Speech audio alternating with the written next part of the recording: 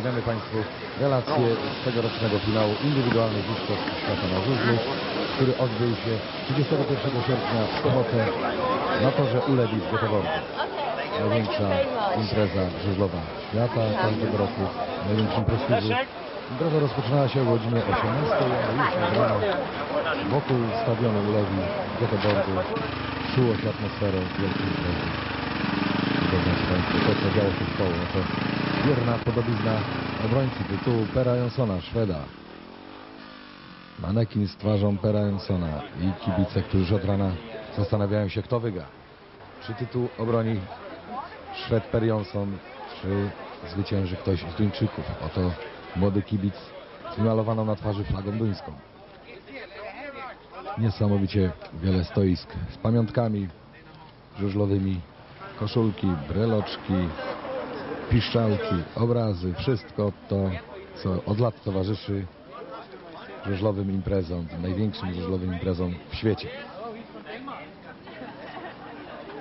Impreza wywołała ogromne zainteresowanie nie tylko w Szwecji, ale w całej Skandynawii, w Europie.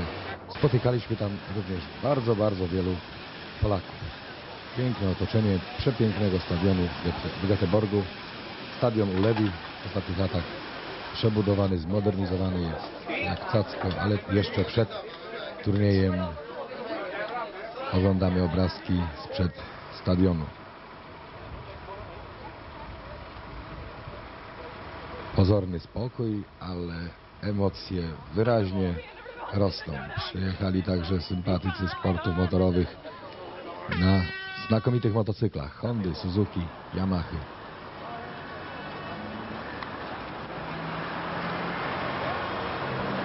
Jak dziewczyna jeszcze poprawia fryzurę, a potem już wszyscy będą udawać się na trybuny stadionu Lewi. Przed stadionem tablica świetlna reklamująca imprezę, reklamująca sponsorów finału. Zapraszająca i temperatura plus 24 stopnie. Bardzo ciepło było w sobotę 31 sierpnia w Göteborgu. Gorąco było nie tylko w powietrzu, ale gorąco było także wśród sympatyków żużla, a zwłaszcza wśród samych zawodników, którzy tam w takim zaimprow- zaimprowizowanym parkingu przygotowywali swoje motocykle do startu.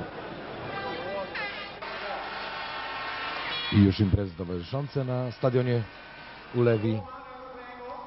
Oto pokazy zawodników specjalizujących się w trialu, bardzo popularnej konkurencji motorowej, motocyklowej, nie tylko w Skandynawii. I tutaj boks. Dotarliśmy na krótko z naszą kamerą do boksu zawodników. I jak wspomniałem, wieczołowita praca mechaników przy sprzęcie zawodników. Zawodnicy w tym czasie byli na odprawie z sędzią finału, z sędzią angielskim, panem Brody.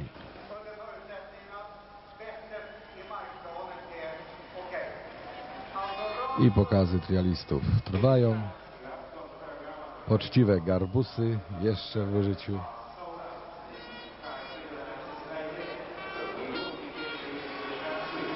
Jeszcze niespełna godzinę przed imprezą trybuny były dość puste. Wydawało się, że będzie mało kibiców, ale potem było coraz więcej i mistrz świata. Już teraz wiemy, że to jest mistrz świata. Mistrz świata. Jan Oswald Pedersen, jak każdy z zawodników, przeszedł w koło tor, zapoznał się z jego nawierzchnią w tym dniu. Udał się do parkingu i już prezentacja, coraz bliżej finału, prezentacja.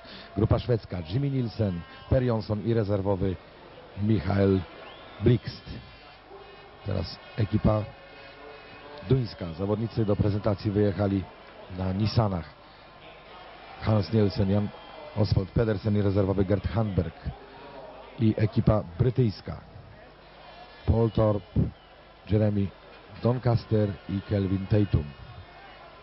Po trzech było zawodników na poprzednich samochodach z jednych ekip i teraz łączono już ekipy z udziałem pozostałych zawodników startujących w tym finale. Rusza kawalkada samochodów. Prezentacja odbyła się w dość ciekawy sposób. Otóż te samochody już się nie zatrzymają do zakończenia parady. Nie będzie żadnych przemówień. W czasie, gdy trwać będą te rundy honorowe, kiedy publiczność będzie witać zawodników, Już oficjele i sędziowie zajmą swoje miejsca i rozpocznie się potem już e, finał. Numerem 62 jeden z fotoreporterów. 74 to słynny Mike Patrick z magazynu Speedway Star. Trwa parada, dołączają do tej parady młodzi żużlowcy szwedzcy, którzy chcą być kiedyś znanymi zawodnikami, a obecnie uprawiają czarny sport na mini torze i na mini motocyklach. I tutaj dwaj zawodnicy, był tam Roman Matouszek, finalista reprezentujący barwy Czechosłowacji i trybuny już wypełnione gdzieś w dwóch trzecich. I pierwszy wyścig. Proszę Państwa, teraz już rozpoczynają się emocje. Ten turniej wywołał ogromne zainteresowanie, ale również wielkie spekulacje. Kto zwycięży? Hans Nielsen chciał wygrać i teraz pierwszy wyścig. Wystartowali czerwonym Hans Nielsen, w niebieskim Tony Knudsen, w białym Jimmy Nielsen i w żółtym kasku Per Jonsson. Teraz na prowadzeniu Tommy Knudsen, on był najlepszy na starcie na pierwszym łuku, Tommy Knudsen prowadzi, drugi Hans Nielsen, Per Jonsson, obrońca tytułu na trzecim miejscu, wie, że ten wyścig może rozstrzygnąć o tym, czy on będzie na podium, czy nie. Przeżywa na pewno teraz ogromny dramat. Stara się dogonić dwójkę Duńczyków, ci jednak bardzo pewnie technicznie pokonują zakręty i dystans i wyraźnie prowadzą Tommy Knudsen. Tommy Knudsen na pierwszym miejscu, za nim Hans Nielsen, na trzecim miejscu Per Jonsson i stawkę zamyka Jimmy Nielsen, też jeden z wielkich faworytów, zwłaszcza kibiców szwedzkich. Kibice szwedzcy liczyli na Per Jonssona i na Jimmy'ego Jonssona, Jimmy'ego, przepraszam, Nielsena. Liczyli bardzo na tych zawodników, ale oni teraz tracą jakże ważne punkty i to w pojedynkach z tak znakomitymi rywalami. Pierwszy nadal Tommy Knudsen. Tommy Knudsen, Duńczyk prowadzi niezagrożenie, za nim pilnujący drugiej pozycji i dwóch punktów, jakże cennych Hans Nielsen, choć dla niego to jest też porażka. I na trzecim dopiero miejscu obrońca tytułu Per Jonsson. Na czwartym miejscu kończy wyścig Jimmy Nielsen. Jakże ważny wyścig. Potem przekonamy się, jak wielką rolę odegrał ten wyścig w punktacji całych zawodów. I drugi wyścig czerwony kasku Ronnie Corey, Amerykanin w niebieskim Mitch Sheara, w białym Tony Rickardson i w żółtym Armando Castagna. Wystartował znakomicie Amerykanin Ronnie Corey. Na niego również mocno liczono. Liczono, że będzie jednym z kandydatów do medali. I teraz w tym pierwszym swoim wyścigu Ronnie Corey potwierdza wielkie umiejętności, pięknie technicznie jedzie, prowadzi zdecydowanie. Na drugim miejscu utrzymuje się Armando Castagna, Włoch, który w tym turnieju jeździł bardzo dobrze, choć nie był przecież wcale faworytem. Atakuje go teraz jadący w białym kasku młody 21-letni Szwed Tony Rickardson. Tony Rickardson próbuje atakować, zdobyć chociaż dwa punkty. Jeszcze wtedy nikt nie wiedział, jaką rolę w tych mistrzostwach odegra niedoceniany Tony Rickardson, który w tej chwili wyprzedził Armando Castagna Włocha i wychodzi na drugie miejsce. Zdecydowanie prowadzi Ronnie Corey Amerykanin, on wyraźnie prowadzi na drugim miejscu, jedzie już teraz ku radości, wielkiej radości kibiców szwedzkich. Tony Rickardson, na trzecim miejscu. Armando Castagna i zamyka stawkę. Mitch Shira, filigranowy Mitch Shira, nowozelandczyk, najstarszy zawodnik tego finału. Tej chwili już się chyba rozstrzygnęła walka na, to, na. W tym wyścigu widzieli, widzicie Państwo wyraźna przewaga Ronnie Koreja. Ronnie Korej pierwsze miejsce, drugie Tony Rickardson, trzecie Armando Castagna i czwarte Mitch Shira. Rozdzielono kolejne punkty. Ronnie Korej zgłasza swoją kandydaturę do miejsca na podium. Co uczyni w dalszych wyścigach Tony Rickardson? Niedoceniany, chociaż wiemy wszyscy, że jest to ogromny talent. W ubiegłym roku był medalistą Mistrzostw Świata Juniorów. I za chwilę trzeci wyścig, do trzeciego wyścigu Paul Torp szykuje się, poprawiają mu jeszcze szybki na kasku i już zawodnicy podjeżdżają na start. Trzeci wyścig.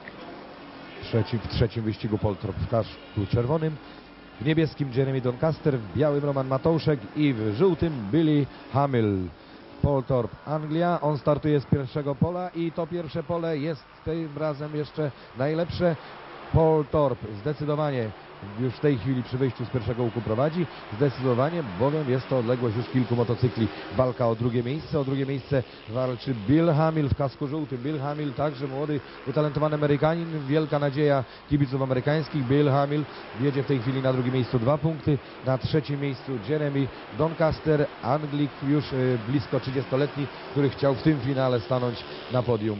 Ziemi, Jeremy Doncaster na trzecim miejscu. Stawkę zamyka Roman Matouszek. Roman Matouszek przygotowywał się do zawodów na GM-ie. Chciał jeździć na GM-ie. W ostatniej chwili zdefektował mu ten motocykl i przesiadł się na motocykl Godena. Po raz pierwszy w tak wielkiej imprezie y, jedzie Matouszek na motocyklu silnikiem Godena. Ofiarowany mu na ten turniej przez samego Dona Godena, ale ten motocykl jeszcze niesprawdzony, nie spisywał się najlepiej a także i Roman Matouszek do faworytów nie należał. To tyle o Matouszku, a prowadzi nadal zdecydowanie Paul Torp. Anglia i on zgłasza swoją kandydaturę do mie miejsca na podium. Drugi jest Amerykanin Billy Hamill, trzecie miejsce Jeremy Doncaster i czwarty Roman Matouszek. Tak rozstrzygnął się trzeci wyścig i już w tej chwili wielu liczyło na to, że Ronik Corey i Paul Torp będą bardzo twardo walczyć o miejsca na podium. Przygotowania do kolejnego wyścigu. Mistrz długiego toru Gert Ries z numerem 14 przygotowuje się do swojego pierwszego startu. Wyjeżdża także sam Ermolenko, również jeden z wielkich faworytów tej imprezy. Podjeżdżają za chwilę do, za chwilę podjadą do czwartego wyścigu, czwarty wyścig dnia, kończący pierwszą kolejkę startów i po tej pierwszej kolejce już ukształtuje się grupa zawodników, która będzie miała najpoważniejsze szanse na medal. I teraz jeszcze ostatnie przygotowania Jana Oswalda Pedersena. Czerwony kask i on znakomicie startuje, wychodzi na prowadzenie, zanim rzuca się sam Ermolenko, ale Jan Oswald Pedersen znakomicie technicznie pokonuje dystans tego toru, na który kiedyś narzekał, ale stwierdził, że po pracach modernizacy- modernizacyjnych w ostatnich miesiącach ten tor już jest dobry, można na nim walczyć, choć niektórzy zawodnicy twierdzą, że jest dużo dziur, ale najlepszym to nie przeszkadza. Jan Oswald Pedersen wyraźnie prowadzi, powiększa przewagę nad znakomitym przecież samym Ermolenką ze Stanów Zjednoczonych jadącym w kasku białym na trzecim miejscu jedzie w kasku niebieskim Gert Ries, na czwartym Kelvin Tatum. Kelvin Tatum zaatakował trzecie miejsce e, Risa, walczą o to trzecie miejsce. Zdecydowanie prowadzi już Jan Oswald Pedersen, Duńczyk, filigranowy Duńczyk, który jeszcze nigdy nie był indywidualnym mistrzem świata. Jedzie po trzy punkty i rozpoczyna swój wielki marsz ku największemu zaszczytowi, jaki może spotkać żużlowca tytułowi mistrza świata indywidualnie. Prowadzi zdecydowanie jemu już chyba się nic nie stanie, tylko defekt mógłby odebrać punkty. Prowadzi zdecydowanie Jan Oswald Pedersen. Drugie miejsce Amerykanin Sam Ermolenko, na trzecim Kelvin Tatum, Anglia i na czwartym Gert Rys, Niemcy. Tak kończy się ten wyścig i zakończyła się pierwsza seria i rozpoczyna się już druga. Piąty wyścig dnia. Kelvin Tatum, kask czerwony, niebieski, Hans Nielsen, Roni Korej w białym i Roman Matouszek w żółtym. Wychodzi na prowadzenie Hans Nielsen, stary mistrz. Jak o nim mówią, był już dwukrotnie indywidualnym mistrzem świata. Medali zdobył cały worek. Jest to niewątpliwie jeden z najlepszych żużlowców w historii światowego Speedwaya. Hans Nielsen po przegraniu pierwszego wyścigu z rodakiem Tommy Knudsenem ma w dorobku dwa punkty, teraz zdecydowanie prowadzi, jedzie po trzy punkty i nadal będzie w związku z tym trzymał się, utrzymywał miejsce w czołówce tego turnieju. Hans Nielsen, kask niebieski, on prowadzi. Na drugim miejscu Kelvin Tatum w czerwonym kasku, Anglik. Na czwartym, o czwartej piąte walczą Roman Mateuszek i Roni Korej. Tym razem w tym wyścigu Roni Korej zawiódł, miał problemy z motocyklem, a i sam niezbyt dobrze wystartował. I ten Roni Korej, na którego tak e, liczono e, ze strony amerykańskiej, tym razem po wygraniu pierwszego wyścigu jedzie na ostatnim miejscu, a w turnieju indywidualnym, takim turnieju, strata wszystkich punktów w danym wyścigu jest y, prawie zawsze nie do odrobienia w dalszej części turnieju Roni. Korej zatem traci swoją wielką szansę stanięcia na podium. Hans Nielsen w pięknym stylu wygrywa niezagrożenie. Drugie miejsce Kelvin Tatum, trzecie Matouszek, czwarte Roni Korej. I teraz przygotowanie do szóstego wyścigu. Gert Ries, mistrz długiego toru. Państwo widzicie, motocykl jego z silnikiem Giuseppe Marzotto ułożonym ukośnie, prawie płasko, prawie równolegle do toru. To jest nowy y, wynalazek, nowy pomysł włoskiego konstruktora Giuseppe Marzotto. Startują szósty wyścig. Gert Ries, kask czerwony, on już y, spada na czwarte miejsce, wychodzi na prowadzenie Paul Torp, Anglia, kask niebieski. Paul Torp na prowadzeniu. Na drugim miejscu w tym wyścigu w tej chwili Tony Rickardson i tu będzie chyba ciekawa walka, bowiem Tony Rickardson, Duńczyk, y, przepraszam, Szwed naturalnie w żółtym kasku będzie starał się y, powalczyć. Y, On w tej imprezie walczył bez żadnych kompleksów. Nie było dla niego miejsc, pozycji przegranych. Z każdej pozycji próbował atakować jadących przed sobą i często to się powodziło. Prowadzi Paul Torp, Anglia i Tony Rickardson. Proszę spojrzeć, jak z różnych stron próbuje podejść Anglika, który jedzie przecież nienagannie technicznie, ale młody Szwed nie traci nadziei, że jeszcze pokona swego rywala z Anglii. Tony Rickardson czai się to z lewej, to z prawej. Próbuje po wewnętrznej i po zewnętrznej. I ostatnia szansa, bowiem to ostatnie okrążenie. Prowadzi zdecydowanie Torp, ale popełnia fatalny błąd przy wyjściu z przedostatniego łuku. Wykorzystuje to bezlitośnie młodziutki Szwed i Tony Rickardson ku wielkiej radości kibiców na trybunach wygrywa wyścig, trzy punkty. Tony Rickardson, drugie miejsce w tym wyścigu Paul Torp, Anglia trzecie Tommy Knudsen, porażka po pierwszym wygranym wyścigu, a Gert z powodu defektu motocykla nie dojechał do mety i siódmy wyścig dnia. Czerwony kask Doncaster, niebieskim Jan Oswald Pedersen, drugie pole Jan Oswald Pedersen. Jak wystartuje tym razem? Czy znów znokautuje rywali po starcie i na pierwszym łuku? Uniosło nieco w prawo Jana Oswalda Pedersena i po raz pierwszy nie jest od razu na czele, ale w tej chwili przebija się bardzo ciekawie przy wyjściu z tego łuku. W żółtym kasku jedzie Jimmy Nielsen, w niebieskim na czele Jan Oswald Pedersen, w czerwonym Jeremy Doncaster i zamyka stawkę jadący z numerem 7 w kasku białym Mitch Shira.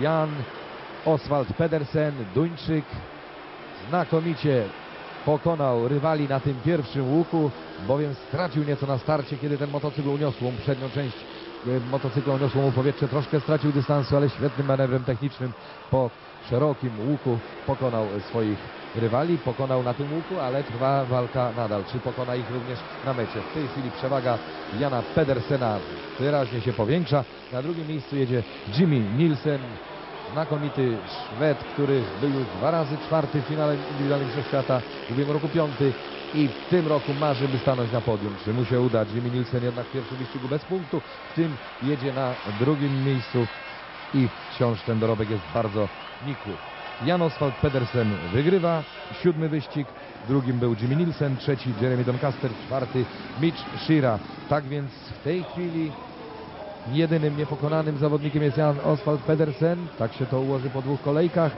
i Jan Pedersen bardzo poważnie liczyć się będzie w walce o medal. Ósmy wyścig Per Jonsson, kask czerwony, w niebieskim Armando Castania, Billy Hamil w białym i w żółtym Samer Molenko. Proszę Państwa, wyścig trwa, zawodnicy jeszcze jadą, ale tam Amerykanin Bill Hamil dotknął taśmy i sędzia przerywa ten wyścig. Przerwany wyścig dopiero po przejechaniu pół okrążenia toru i Bill Hamil niestety wykluczony z tego wyścigu za dotknięcie taśmy. W jego miejsce wyjedzie na tor rezerwowy turnieju Michael Blixt ze Szwecji.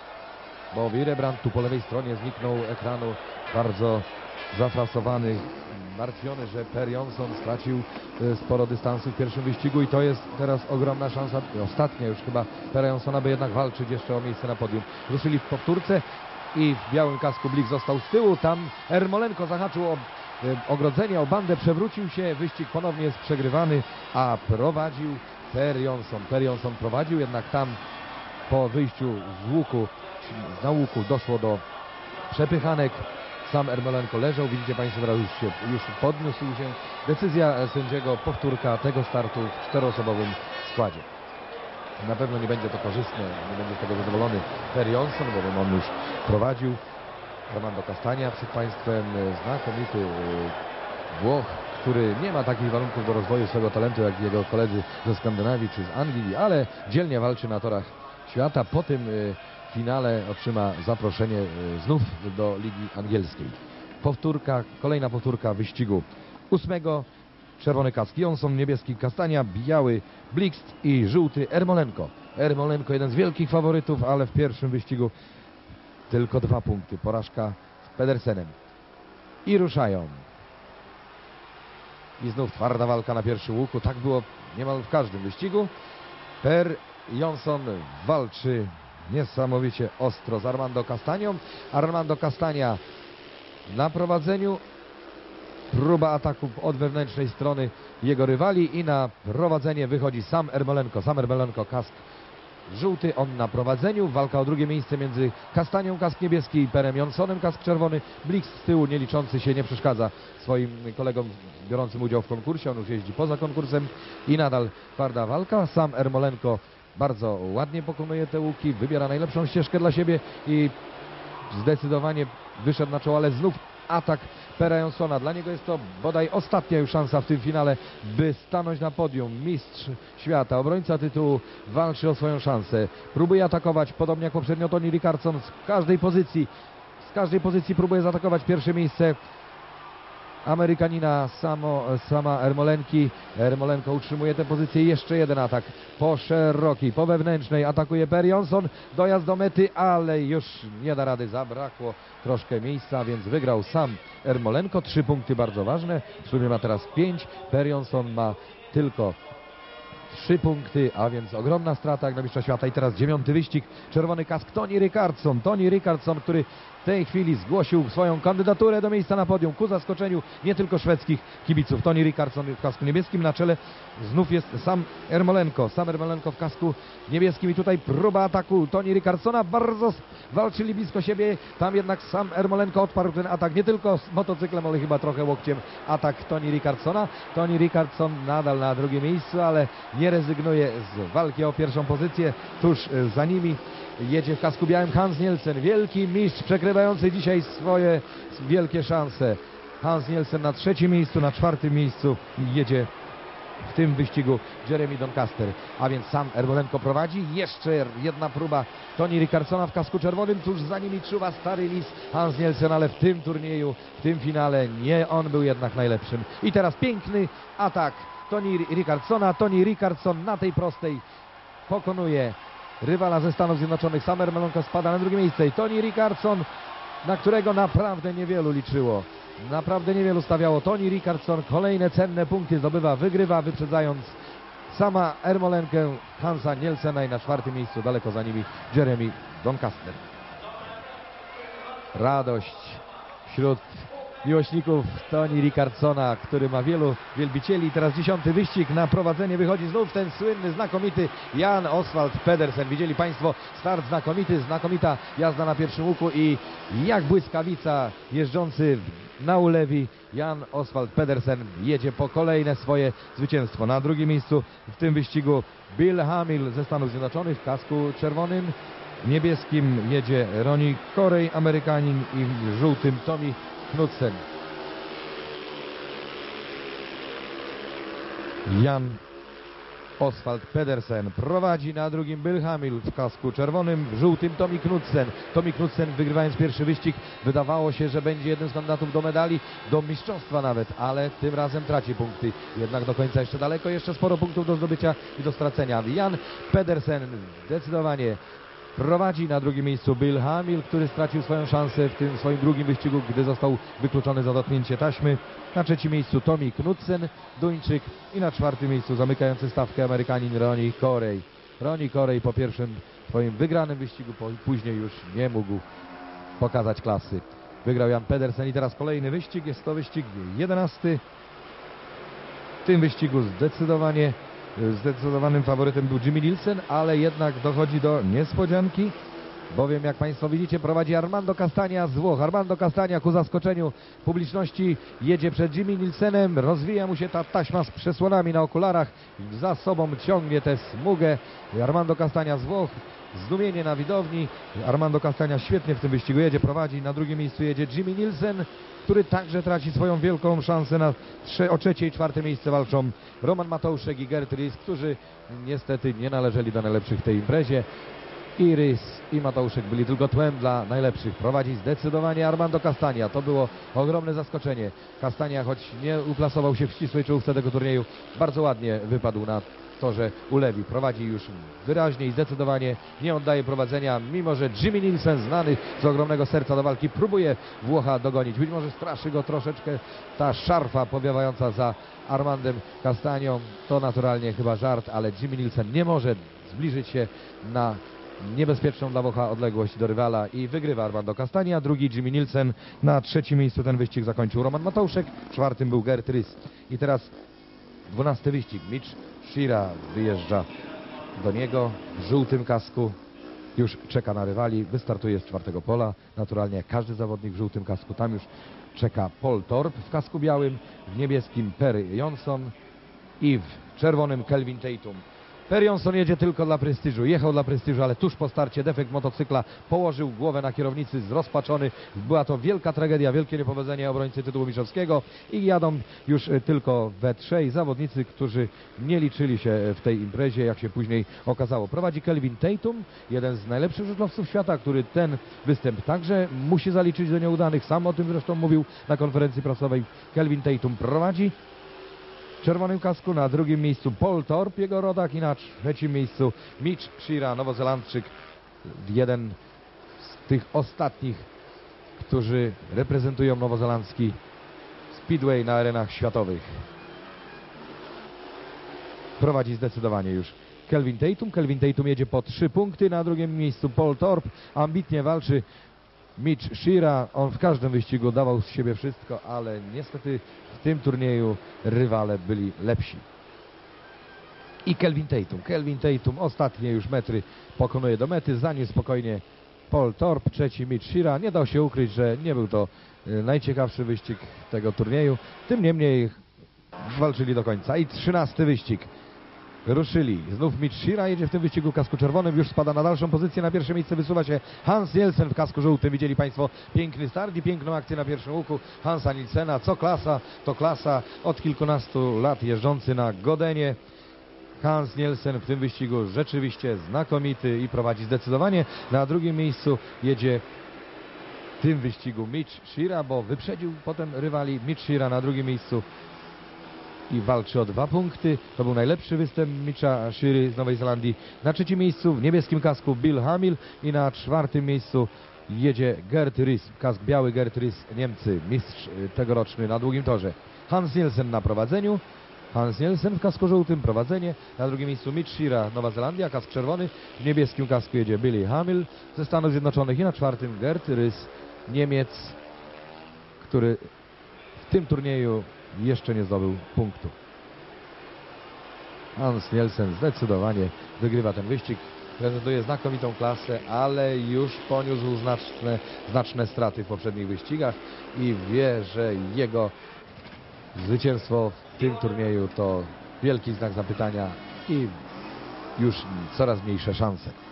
Choć ten wyścig wygrał. 14 wyścig dnia. Pierwsze pole czerwony kask Tommy Knudsen, potem niebieski kask Kelvin Tatum, w białym Armando Castania i w żółtym Jeremy Doncaster. Była powtórka startu, bowiem zacięła się maszyna startowa i teraz już jadą. 14 wyścig dnia. Na prowadzeniu Tommy Knudsen, Tommy Knudsen, kask czerwony. Na drugie miejsce wysuwa się po pięknej walce Kelvin Tatum. Kelvin Tatum wyprzedzający Jeremiego Doncastera. Na czwartym miejscu jedzie Armando Castania. Tommy Knudsen prowadzi. Tommy Knudsen, jeden z tych Duńczyków, którzy pozostają w cieniu wielkiego Erika, wielkiego Hansa Nielsena i Jana Pedersena, ale zawodnik znakomity. Także już zdobył wiele medali w różnych konkurencjach Mistrzostw Świata. Tommy Knudsen prowadzi już zdecydowanie. Stawka się rozciąga. Na drugim miejscu Kelvin Tatum. Na trzecim miejscu Armando Castania. Bowiem defekt motocykla miał Jeremy Doncaster i do mety nie dojechał. Taka jest kolejność. Knudsen, Tatum, Castania, Doncaster, defekt motocykla. Tommy Knudsen, tam widzieli Państwo, mignął Jeremy Doncaster na płycie boiska z motocyklem, który popsuł mu się. I teraz Tommy Knudsen finiszuje. Pierwsze miejsce, trzy punkty. Drugie miejsce w tym wyścigu Kelvin Tatum. Trzecie Armando Castania i kolejny wyścig. Jest to już 16, 15. Sam Ermolenko będzie miał tutaj ostatnią szansę. Czy powalczy o nią? Prowadzi Jimmy Nielsen. Jimmy Nielsen znakomicie wystartował, bardzo dynamicznie pojechał w tym wyścigu. Wreszcie pokazał na co go stać. Podobała się ta jazda w tym wyścigu Jimmy'ego Nielsena publiczności. Pojechał świetnie. Szkoda, że wcześniej stracił dużo do rywali. Jimmy Nielsen zdecydowanie teraz prowadzi. Na drugim miejscu jedzie Paul Torp. Anglia w kasku białym. Na trzecim miejscu w żółtym kasku Ronnie Corey. A na czwarte miejsce spadł sam Ermolenko, któremu e, defektuje maszyna. Jeszcze próbuje walczyć sam Ermolenko, będący na czwartym miejscu, ale ta maszyna mu spisuje się w tym wyścigu coraz słabiej. Prowadzi zdecydowanie już Jimmy Nielsen. Jimmy Nielsen jedzie po trzy punkty. Na drugim miejscu Paul kask biały. W żółtym Ronnie Corey, Stany Zjednoczone, jeden punkt zdobędzie.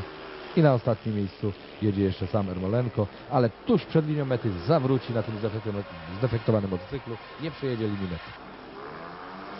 I kolejny wyścig, 16. Czerwony kask Roman Matouszek, niebieski Toni Ricardson, biały Per Jonsson i żółty Jan Oswald Pedersen. I widzieli Państwo, znów pokazał ogromną klasę ten filigranowy Pedersen. Spada mu teraz żółty pokrowiec kasku, ale wszyscy widzą po sylwetce, poznają kto jedzie na czele. Jan Pedersen zdecydowanie prowadzi. Na drugim miejscu jedzie Toni Ricardson. Toni Ricardson w kasku niebieskim. On walczy także wielką szansę dla niego. Każdy punkt jest teraz na wagę złota. Na trzecim miejscu Per Jonsson, który w tej chwili już wiadomo nie ma szans na powtórzenie sukcesu z ubiegłego roku. Nie ma szans na tytuł mistrza świata po raz kolejny. Stawkę zamyka czeski żużlowiec Roman Matouszek. I Toni Ricardson zdobywa kolejne dwa punkty i awansuje do grona kandydatów do podium. Cieszy się niesamowicie. Nikt na niego nie liczył, a on z tej pozycji zaatakował rywali. I mamy 17 wyścig dnia. Hans Nielsen w kasku czerwonym przegrywa start z Janem Pedersenem. Dwaj wielcy rywalec i proszę spojrzeć jak wielka przewaga po niespełna jednym okrążeniu Jana Pedersena nad swoim wielkim kolegą Hansem Nielsenem. Hans Nielsen teraz pozostaje Hansowi tylko walczyć o drugie miejsce, bowiem Jan Oswald Pedersen odjechał rywalom i jedzie po trzy punkty. Prowadzi zdecydowanie Jan Pedersen, na drugim miejscu Hans Nielsen w kasku czerwonym, w żółtym kasku jedzie Paul Torp, Anglik i na czwartym miejscu Armando Castagna, w kasku niebieskim Armando Castagna, Włochy. Kamera już omija prawie przez większość okrążenia Jana Pedersena. Teraz znów go oglądamy w pełnej krasie. Mistrz w jeździe parami z Poznania chce zostać po raz pierwszy w swojej karierze także mistrzem na klasycznym torze indywidualnie. Jan Oswald Pedersen prowadzi, na drugim miejscu Hans Nielsen, na trzecim miejscu Paul Torp w kasku żółtym i na końcu w kasku niebieskim Romando Castania. Jeszcze jedna próba była ataku Hansa Nielsena, ale to chyba wynikło z tego, że Jan Pedersen po prostu zwolnił, widząc, że jest niezagrożenie na pierwszym miejscu. Pedersen wygrał i proszę Państwa, ogromna radość. Państwo już wiecie, ten wyścig 17 to 15 punktów komplet Jana Pedersena. Stadion wstał, wszyscy stojąc, zwiwatują na cześć nowego mistrza i także jego rywale z wszystkich ekip wychodzą na tor, by podziękować, pogratulować swemu koledze, by uznać wielkość nowego króla klasycznego toru, 400-metrowego toru. I Jan Pedersen wędruje na ramiona swoich mechaników, przyjaciół. Mało ich tam jest i za chwilę Jan wyląduje z powrotem na torze, ale ponowią, ponowią próbę. Czy im się uda? W każdym razie radość ogromna. Jan Oswald Pedersen, indywidualnym mistrzem świata na żużlu na rok 1991 i radość ogromna, wiwaty, bardzo obiektywna publiczność, naturalnie zdecydowana przewagów, przewaga Szwedów, jeśli idzie o publiczność na trybunach, a jednak i szwedzka publiczność i teraz prezes sprechen. Ja, schön. Jako jeden z pierwszych gratulacje nowemu mistrzowi świata złożył prezes mm, Zbigniew Morawski, szef Zielonogórskiego Klubu Żużlowego. A teraz 18 wyścig dnia. Tomi Knudsen w kasku niebieskim. On wygrywa start, wygrywa pierwszy łuk i jedzie po swoją szansę na jeden z medali w tych mistrzostwach. Jedzie na pierwszym miejscu w 18 wyścigu. Tomi Knudsen na drugim miejscu, sam Ermolenko. Sam Ermolenko w kasku żółtym, atakujący go w czerwonym kasku Roman Matouszek, który później będzie miał kłopoty jeszcze z Miczem Shirą, który jedzie na razie za nimi. Prowadzi zdecydowanie w tym wyścigu już Tomi Knudsen. On walczy o swoją szansę na medal. Tomi Knudsen, Tomi Knudsen w kasku niebieskim. Na drugim miejscu w żółtym kasku sam Ermolenko, na trzecim w czerwonym Roman Matouszek, na czwartym w białym kasku Mitch Shira. Mitch Shira w tej chwili atakuje pozycję Matouszka. Walczy bodaj o jeden punkt. Prowadzi zdecydowanie Knudsen, drugie miejsce sam Ermolenko, na trzecie wysunął się już. Mitch Shira przywodzi jeden punkt, a na czwartym miejscu mija linię mety Matouszek. I teraz dziewiętnasty wyścig. Jimmy Nielsen w kasku czerwonym, piękny start, piękna jazda na pierwszym łuku, tam niesamowite ataki. Czy Jimmy Nielsen to wytrzyma? Proszę spojrzeć, jak pięknie atakują go jadący w kasku niebieskim Billy Hamil i Tony Rickardson w żółtym. Jimmy Nielsen prowadzi, zanim pojawia się po tej walce młody Szwed, jego kolega z reprezentacji Tony Rickardson. Proszę Państwa, sytuacja jest teraz już i prawie jasna. Jeśli Tony Rickardson dowiezie te dwa punkty za drugie miejsce do mety, on będzie pierwszym wicemistrzem świata. Jimmy Nielsen jedzie tylko dla prestiżu. Jimmy Nielsen będzie blisko podium, ale już nie ma szans, by stanąć na nim. Jimmy Nielsen jedzie wspaniale, technicznie kontroluje przebieg wydarzeń na torze. Bardzo ładny popis Jimmy'ego Nielsena na zakończenie udziału w tegorocznych mistrzostwach. Szkoda, że nie powiodło mu się wcześniej. A Tony Rickardson ku ogromnej radości kibiców z tymi dwoma punktami, które jeszcze przed nim ma szansę zostać wicemistrz, pierwszym wicemistrzem świata. Rachuba jest prosta. Jeśli będzie drugim na mecie, zdobędzie dwa punkty, będzie pierwszym wicemistrzem świata. Ogromne zaskoczenie. Nikt na niego nie stawiał, nikt nie przewidywał, że będzie na podium. I oto Jimmy Nielsen wygrywa, drugi Tony Rickardson unosi radośnie rękę, wie, że został pierwszym wicemistrzem świata i radość także w boksie technicznym Szwedów. Gratulacje i już od razu pierwsze wywiady dla telewizji. Tony Rickardson niewątpliwie największe zaskoczenie tegorocznego finału indywidualnych mistrzostw świata na żużlu. Uradowany, tańczył lambadę niby niczym Roger Mila na piłkarskich mistrzostwach świata. Tańczył tę lambadę zaraz po wyścigu, kiedy fiknął kozła na torze. Tańczył także podczas ceremonii zakończenia mistrzostw. Tony Rickardson, ubiegłoroczny drugi wicemistrz świata juniorów na żużlu i tegoroczny pierwszy wicemistrz świata na żużlu wśród seniorów. Największa niespodzianka tych mistrzostw. Tony Rickardson i czekamy, co pokaże w kolejnych sezonach. Na co dzień w polskiej lidze występuje w barwach Polonii Bydgoszcz. Nie da się ukryć, że w większości meczów ligowych w Polsce nie imponował, nie zapowiadał tak udanego występu w finale Mistrzostw Świata na stadionie Ulewi. I wciąż otoczony przez fotoreporterów, dziennikarzy, Tony Rickardson, szczęśliwy, uradowany, a do końca pozostaje jeszcze jeden wyścig programowy, 20. I oto właśnie on się zaczyna. W czerwonym kasku Roni Korej, w żółtym Per Jonsson. Per Jonsson, stary mistrz świata, który już został zdetronizowany tu na własnym torze, własnym, bo w Szwecji, który nie obroni tytułu zdobytego przed rokiem w Bradford w Anglii. Jeszcze na koniec chcę pokazać, że potrafi jeździć i oto Per Jonsson w ostatnim swoim wyścigu znakomicie technicznie jedzie, pokazuje klasę, choć jest to już, jak mówiono w tym momencie, tylko łabędzi śpiew starego mistrza. Per Jonsson w żółtym kasku on zdecydowanie prowadzi. Na drugim miejscu w czerwonym Amerykanin Ronnie Corey także przeżył ogromny zawód. Na niego mocno stawio, stawiano także menedżer amerykańskiej ekipy John Scott. Mówił, że liczy na swoją trójkę, ale największą niespodziankę według niego sprawi niedoceniany Ronnie Corey. Ronnie Corey był bliski sprawienia wielkiej niespodzianki, nie mniejszej niż Tony Rickardson, ale jeździł nierówno, dwa nieudane wyścigi i to pozbawiło go szans na medal. Per Jonsson w kasku żółtym zdecydowanie prowadzi. Ronnie Corey w kasku czerwonym na drugim miejscu. Gerty Rys w niebieskim na trzecim i Jeremy Doncaster zamykający stawkę.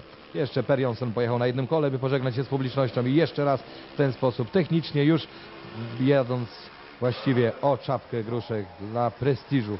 Chciał jeszcze pokazać, że na wiele go stać, ale te mistrzostwa były dla niego nieudane. Proszę Państwa, tak więc już wiemy, że mistrzem świata został Jan Oswald Pedersen, tam prezes Zbigniew Morawski wśród triumfatorów z bliska przyglądał się rywalizacji w Göteborgu i oto wiemy, że mistrzem Jan Oswald Pedersen, pierwszym wicemistrzem niespodziewanie Tony Rickardson ze Szwecji, a o trzecim miejscu dodatkowy wyścig, decyduje doda- dodatkowy wyścig, bowiem po 11 punktów zgromadzili Tommy Knudsen, numer 2 kask czerwony i Hans Nielsen, numer 1 kask biały. Po 11 punktów i ten wyścig decydować będzie o brązowym medalu. Zwycięzca będzie tym trzecim na podium obok Pedersena i Rickardsona.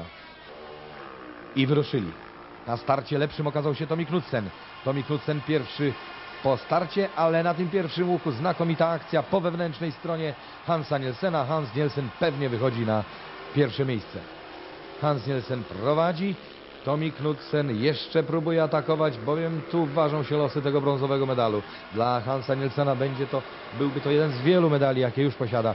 Tommy Knudsen zbyt wielu medali w konkurencji indywidualnej nie posiada. Raz tylko zdobył brąz i chce dzisiaj również stanąć w Göteborgu na podium. Walczy niesamowicie, ale jak Państwo widzicie, gra toczy się uczciwie, po sportowemu. Nie ma oddawania pola rywalowi. Medal dla żużlowca to wielki zaszczyt, choć tych medali Hans Nielsen zdobył już tyle, że nie cieszy się choćby tak jak Tony Rickardson, który zdobył swój pierwszy medal w Mistrzostwach Świata wśród seniorów. Hans Nielsen w kasku białym prowadzi zdecydowanie, mimo że ambitnie próbuje ścigać go Tommy Knudsen. Tym razem Hans Nielsen jest y, rzeczywiście lepszy i on zmierza do mety po pierwsze miejsce, które da mu brązowy medal w tych mistrzostwach. Hans Nielsen na jednym kole tradycyjnie kończy dla publiczności ten wyścig. Po każdym wyścigu wybuchy petardy. Duńczycy zjeżdżają do boksu, tak więc cztery, wśród czterech najlepszych żużlowców świata w tym sezonie trzech Duńczyków, jeden Szwed. Hegemonia Skandynawów, hegemonia dokładniej mówiąc Duńczyków, bowiem oni zdobywają te największe laury. Po Mistrzostwach Świata par w Poznaniu, gdzie wygrali Duńczycy przed Szwedami i Norwegami, w Göteborgu nad stadionie Ulewi, przepięknym stadionie Ulewi, wygrywa Jan Oswald Pedersen z kompletem 15 punktów. Na drugim miejscu Tony Rickardson 12, na trzecim miejscu Hans Nielsen 11 plus 3 i na czwartym Tommy Knudsen 11 plus 2 i parada zwycięzców znów wyjechali na terenowych Nissanach, pięknie przygotowanych. Cieszy się Jan Pedersen, cieszy się Tony Rickardson i teraz podjechali do podium i na tym podium kolejno wsta wstają. Brawa wciąż publiczności, wielki aplauz, bardzo obiektywnie oceniała publiczność występy żużlowców, wszyscy otrzymywali brawa, każdy zawodnik, który pięknie prezentował się na torze, otrzymywał brawa od publiczności. Cieszy się Pedersen, cieszy się niesamowicie Tony Rickardson. Widzicie Państwo jego minę. To był sprawca największej niespodzianki. Wprawdzie po finale wiele osób mówiło, że przewidywało, że tak będzie, ale proszę im nie wierzyć, bo tak naprawdę to Tony Rickardson nie był brany pod uwagę, jeśli chodzi o rozdział medali. I teraz konferencja prasowa, podczas której wypowiadają się medaliści. Będzie także wypowiedź ekipy, przedstawiciela ekipy zielonogórskiej zapraszająca żużlowców na rewanż za Göteborg na tor do Zielonej Góry. Eric, will you be with Prezydent Międzynarodowej Federacji Żużlowej prosi o udzielenie głosu. Jest pan mile witany. Myślę, że zadowolony pan z dzisiejszego turnieju. Dziękuję. Przede wszystkim chciałbym pogratulować zwy- zwycięzcom dzisiejszego finału. Mogę tylko powiedzieć, że to był wspaniały, cudowny, bardzo atrakcyjny finał Mistrzostw Świata.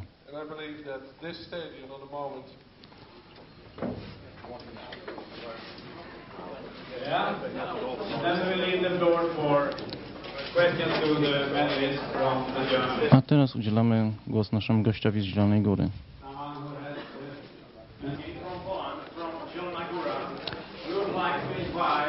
Uh, W imieniu pana Morawskiego, prezesa klubu żużlowego z Polski, z Zielonej Góry, chciałbym zaprosić wszystkich startujących dzisiaj zawodników i zgromadzonych dziennikarzy na rewanż indywidualnych Mistrzostw Świata do Zielonej Góry 13 października tego roku. Wy wszyscy tutaj obecni jesteście zaproszeni.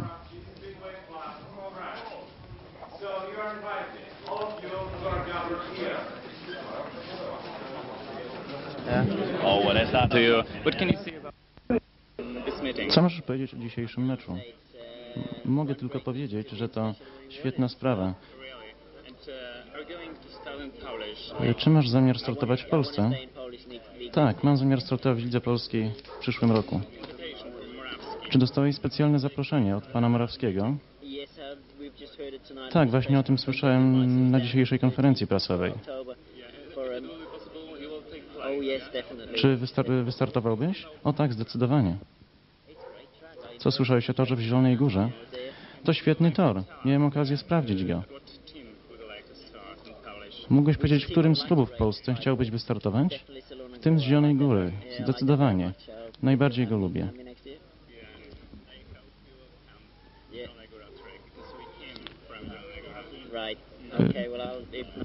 Co możesz powiedzieć o torze w Zielonej Górze? Jaka jest jego nawierzchnia? Uh,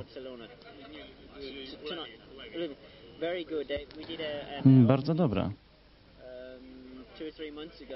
3-4 miesiące temu był to jeszcze niezbyt dobry tor, ale teraz oni zrobili doskonałą nawierzchnię. Dziękuję. Życzę sukcesów w przyszłości i mam nadzieję, że wystartujesz w drużynie Morawskiego. Me too. Mam nadzieję. What can you say about this panel? Ja uważam, że Wisła potrzebuje dobrych trenerów. Czy pan Gary Briggs nie by się zgodził na kontakt ze mną?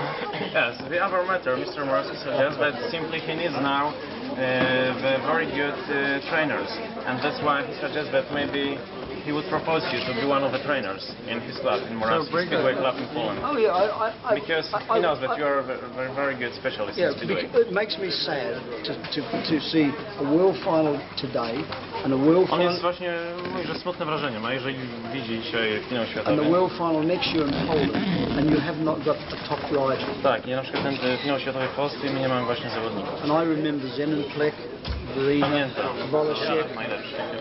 To all, jest strong riders, and I look, strong in Poland. Dobrzy i To jest całkiem normalne. Polska gospodarka poszła na dół. For, he says that it's normal because Polish economy dropped down. Jak idzie Polska ekonomia na dół, to nie może dobrze znaleźć sport. It's the same direction. When the economy is going dropping down, everything is dropping down. The same with To byłoby- to sport byłoby and sztuczne, to rzeczywiście się dzieje. Other, uh, Other fields. To co ja bym to jest mój It's kaprys tylko. special life. And he says that he, what he's doing now, it's Zrobić jak zrobili Rosjanie, że wyłowili talenty do Dynama w Kijów i chcieli zrobić But we can do the same, for example, as uh, Russian with the football, as they, for example, try to try to catch each talent and to put into one team, club team, for example, Dynamo Kiev. To musi być He naturalne. says that it shouldn't be done in this way. It must be natural way. Nie możemy sztucznie podtrzymywać dwóch talentów w We Polsce. can't do it in the artificial way to maintain one or two only talents. Tu nikt w Szwecji ani w Anglii ich nie podtrzymuje, oni sami się People, rozwijają. for example, in Sweden or Denmark, don't do so. It must be natural way of selection. Yeah, but it's, it's impossible because your, your, your, your country is... What do you mean by natural selection? it's How do you mean This is that? Ollie Olsen. He's been world champion many times also. Right? So, Pyta się właśnie, co pan uważa za naturalną selekcję, jeżeli nie ma być budowany In Denmark, we don't select To, anybody. to, to będzie dotowane, ale nie można w ten sposób zrobić, że trzech żużlowców się wyjmie ze wszystkich i trzem się daje pieniądze, a reszcie się nic.